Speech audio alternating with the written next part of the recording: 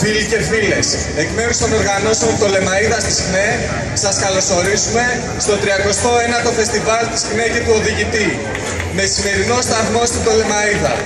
Το ταξίδι του φεστιβάλ έχει ξεκινήσει από το τέλος του περασμένου θα διανύσει από άκρη άκρη τη χώρα, μεταφέροντας το μήνυμα ότι ο κόσμος αυτός μπορεί και πρέπει να αλλάξει. Όπως λέει και το σύνθημα που επιλέξαμε για σύνθημα του φεστιβάλ. Είναι καθήκον της εργατικής τάξης και ιδιαίτερα της νεολαίας της να αλλάξει αυτόν τον κόσμο, να οικοδομήσει τη συμμαχία αυτή που θα ανατρέψει τον κόσμο της εκμετάλλευσης και θα οικοδομήσει τη νέα κοινωνία, τον σοσιαλισμό-κομμουνισμό μέσα από ατσάλινη ταξική ενότητα. Αυτό το μήνυμα θα προσπαθήσουμε να περάσουμε και σήμερα μέσα από το πρόγραμμα του φεστιβάλ που περιλαμβάνει ένα θεατρικό δρόμενο και συναυλία.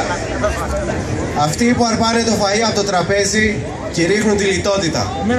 Αυτοί που παίρνουν όλα τα δοσήματα ζητάνε θυσίες. Οι χορτάτοι μιλάνε στους πεινασμένους για τις μεγάλες εποχές που θα έρθουν. Αυτοί που τη χώρα σέρνουν στην Άβυσσο, λες πως είναι τέχνη να κυβερνάς το λαό, είναι πολύ δύσκολοι για τους ανθρώπους του λαού.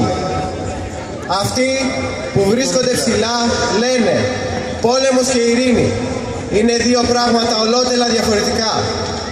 Όμως η ειρήνη τους και ο πόλεμός τους μοιάζουν όπως ο άνεμος και η θύελα.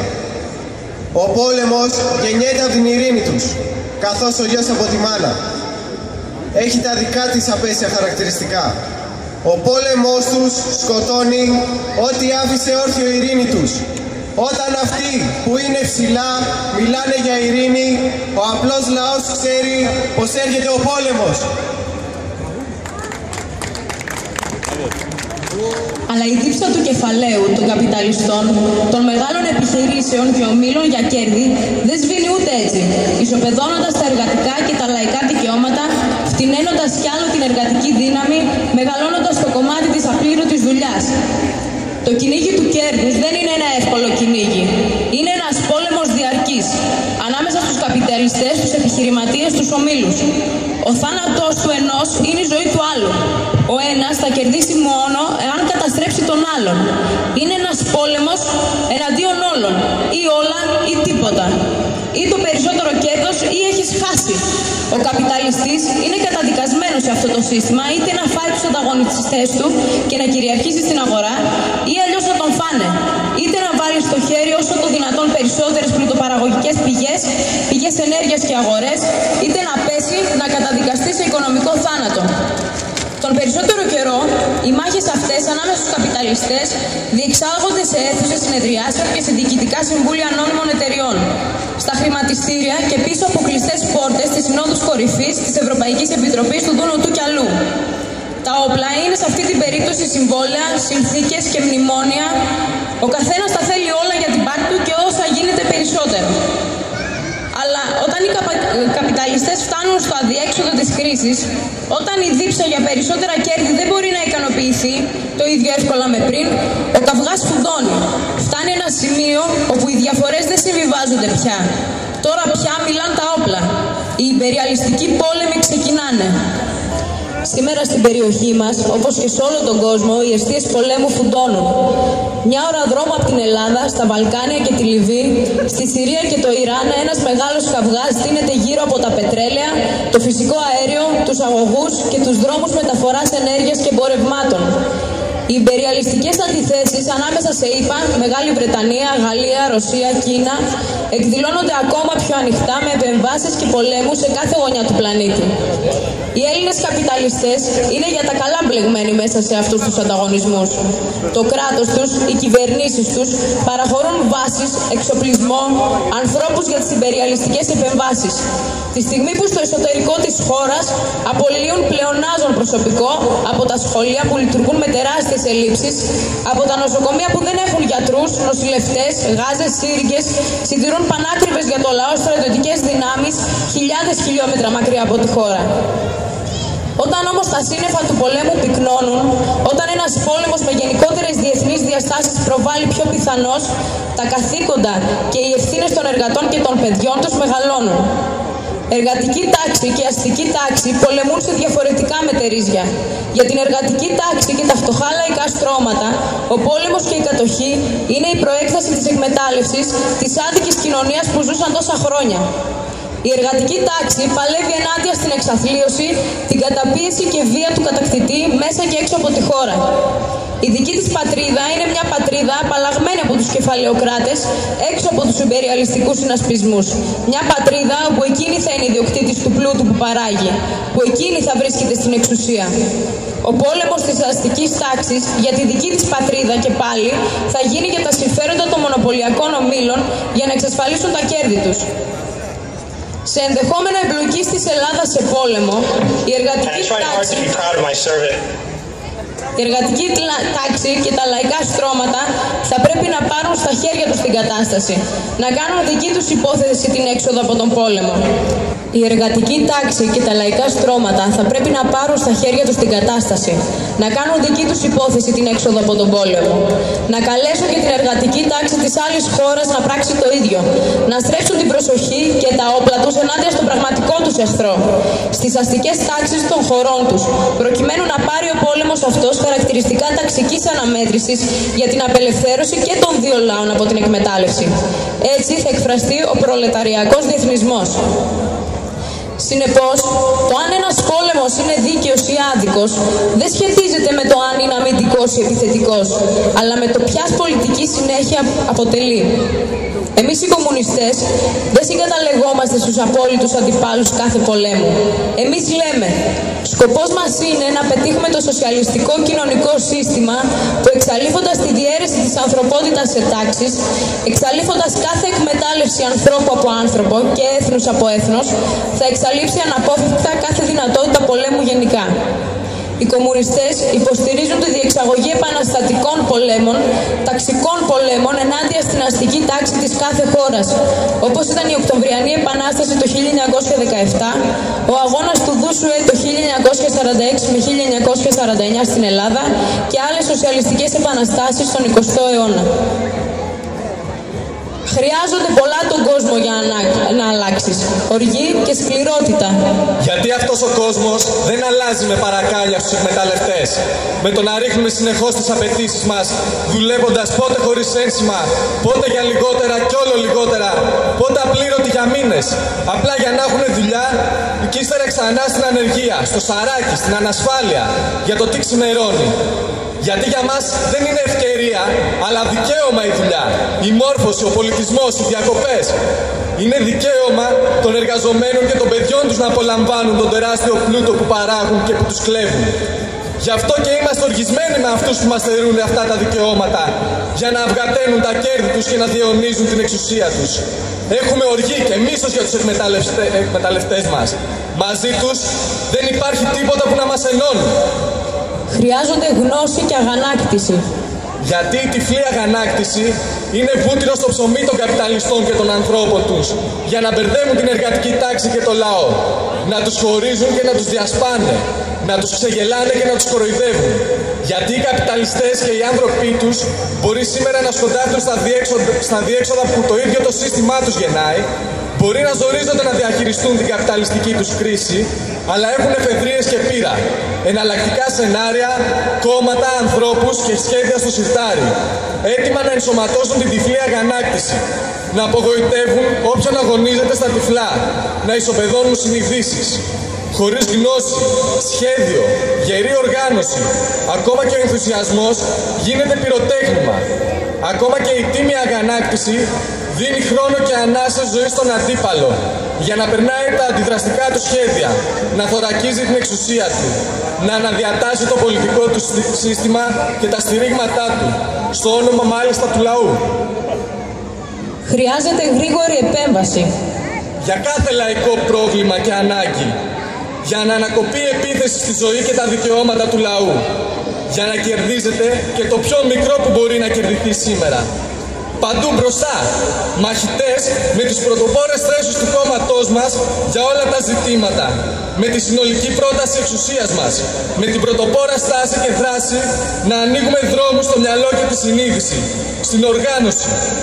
ώστε μέσα από τον καθημερινό αγώνα για να αποκρουστούν τα βάρβαρα αντεργατικά μέτρα να συγκεντρώνονται δυνάμεις, να αποκτάμε αντοχή και πείρα, να ξεδιπλώνεται η αντεπίθεση του λαού απέναντι στα μονοπόλια και την εξουσία τους, τις ενώσεις τους, για να δυναμώνει η κοινωνική συμμαχία των εργατών, των αγροτών, των φτωχών αυτοαπασχολούμενων, των νέων, το πανίσχυρο ποτάμι που θα σαρώσει την εξουσία των μονοπωλίων, θα κατακτήσει την εργατική εξουσία. Χρειάζεται βαθύ στοχασμός. Γιατί δεν αρκούν όσα βλέπει κανείς στην επιφάνεια. Γιατί θέλει μελέτη και στέρεα γνώση. Συνεχή προσπάθεια για να βλέπεις μπροστά, να μελετάς τον αντίπαλο, τα αδιέξοδα και τις τάσεις του. Το σύστημα της εκμετάλλευσης, την εξέλιξη της καπιταλιστικής κρίσης, τον τζακωμό των καπιταλιστών για τα μείγματα διαχείρισης που πρέπει να ακολουθήσουν, την ένταση της κρατικής και εργοδοτικής βίας και καταστολής, τα σχέδια για το χτύπημα του λαϊκού κινήματος και του κόμματος, την όξυνση των ανταγωνισμών ανάμεσα στα μονοπόλια και τα καπιταλιστικά κράτη, που γεννάει νέες αιστείες πολεμικών συγκρούσεων και αντιπαραθέσεων, ώστε κάθε νέος από λαϊκή οικογένεια να βλέπει πιο καθαρά πού πάνε τα πράγματα και οι εξελίξεις, ποιες, ποια πρέπει να είναι η δική του στάση, για να ψάξει τη ρίζα των προβλημάτων, τις αιτίες, ποιας τάξης τα συμφέροντα εξυπηρετεί ο καθένας. Ούτε ένας νέος να μην παρασύρεται από τις ψεύτικες ελπίδες που του καλλιεργούν. Χρειάζεται ψυχρή ανοχή, ατελείωτη καρτερικότητα. Με τους ανθρώπους του λαού, με τα παιδιά της εργατικής τάξης. Γιατί ξέρουμε καλά πως χρειάζονται πολλά και όχι μόνο από εμάς για να αλλάζουν οι συνειδήσεις. Για να κερδίζετε έστω και μια συνείδηση στην υπόθεση της ταξικής πάλης. Σε καιρούς δύσκολους που άνεμος φυσάει κόντρα, που από όλες τις μεριές φωνάζουν στον νέο άνθρωπο «Κάτσε φρόνημα», να σκύψει στο κεφάλι, γιατί δεν μας τρομάζει η δουλειά του μυρμηγκιού. Η καθημερινή βασανιστική δουλειά για να πιστέψει ο λαός στη δύναμή του, στο δίκιο του. Για να σπάνε τα ψέματα των εκμεταλλευτών πως τάχα δεν αλλάζει τίποτα. Πως έξω από την Ευρωπαϊκή Ένωση θα χαθούμε. Πως χωρίς τους εκμεταλλευτές τους οι εργαζόμενοι πάνε χαμένοι. Χρειάζεται υπομονετική καθημερινή επιμονή, επίμονη δουλειά για να φωτίζουμε τις τεράστιες δυνατότητες που υπάρχουν σήμερα για να καλυφθούν οι λαϊκές ανάγκες με την εξουσία και την οικονομία στα χέρια του λαού. Με κεντρικά σχεδιασμένη οικονομία για να αναδεικνύεται μέσα από τους τόνους λάσπης και ψεμάτων η τεράστια προσφορά στους λαούς και στους εργαζομένους του σοσιαλισμού που οικοδομήθηκε στην ΕΣΤ και στις άλλες σοσιαλιστικές χώρες για να μην περνάει το ψέμα και η παραχάραξη της ιστορίας που γράψαν οι λαοί. Χρειάζεται σύλληψη του μέρους και σύλληψη του όλου. Γιατί κάθε πρόβλημα θέλει απάντηση και δράση συγκεκριμένη. Αλλά και γιατί σήμερα η ίδια η ζωή δείχνει ότι δεν υπάρχει ούτε ένα πρόβλημα που να μην συνδέεται με το γενικό πολιτικό πρόβλημα. Αυτό του ποιος έχει στα χέρια του την εξουσία. Γιατί δεν αρκεί να βλέπει καθένα το δέντρο του δικού του προβλήματος. Υπάρχει το δάσος της ταξικής εκμετάλλευσης που προσπαθούν να το κρύψουν με χιλιάδες τρόπους. Και γι' αυτό δουλεύουν πολλοί μηχανισμοί, με διάφορες φορεσιές και μέσα από πολλά κανάλια. Δεν έχουμε απέναντί μας κάποιους τραπεζίτες, κάποιους εφοπλιστές και κάποιους βιομήχανους.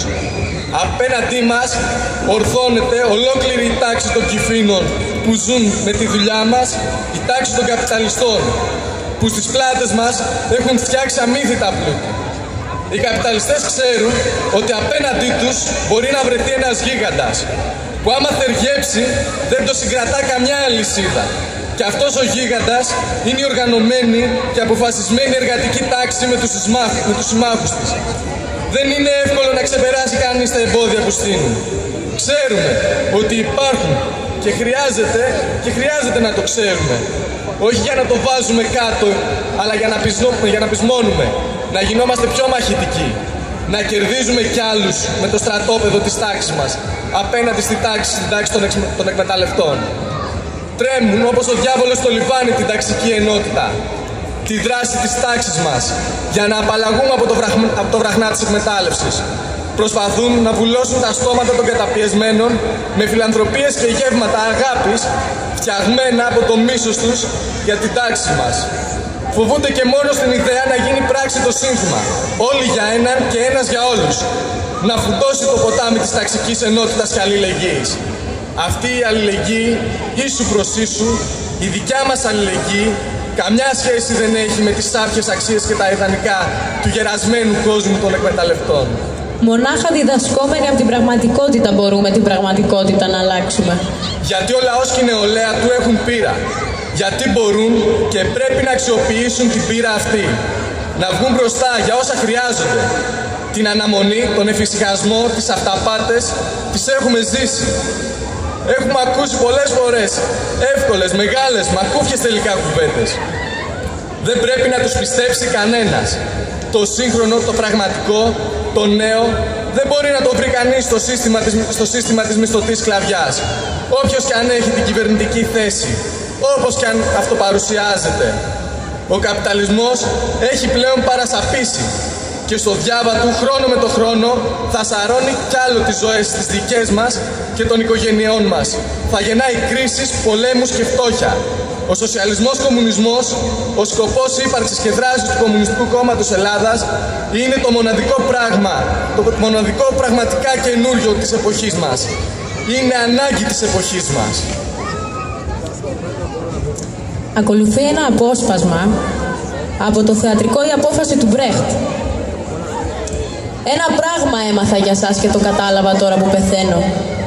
Τι νόημα έχει να υπάρχει κάτι μέσα σας και να μην βγαίνει προς τα έξω; Ξέρετε να υπάρχει κάτι που δεν έχει συνέπειες; Εγώ για παράδειγμα δεν έκανα τίποτα. Το τίποτα δεν μπορεί να μετράει για καλό, ακόμα κι αν μοιάζει να ωφελεί. Το τίποτα δεν μπορεί να θεωρείται δίκαιο και έτοιμο παρά μόνο αν αλλάζει οριστικά αυτόν τον κόσμο που το χρειάζεται. Εγώ ήρθα στους εκμεταλλευτές σαν δώρο Θεού. Τι άσκοπη καλοσύνη, τι ανεξιχνία στη βούληση. Και δεν άλλαξα τίποτα. Σβήνοντας πρόωρα από αυτόν τον κόσμο και χωρίς φόβο, ένα σας λέω. Φροντίστε, φεύγοντας από τον κόσμο, να μην είστε απλώς καλοί, αλλά να αφήσετε και έναν κόσμο καλό. Και αν σας πει κάποιος ότι μπορείτε να ανυψωθείτε πνευματικά μένοντας κολλημένοι στο βούρκο, πιάστε τον κι αυτόν και σπάστε του το κεφάλι στο λιθρόστρωτο. Μόνο η βία ωφελεί όπου εξουσιάζει βία. Μόνο οι άνθρωποι ωφελούν όπου υπάρχουν άνθρωποι.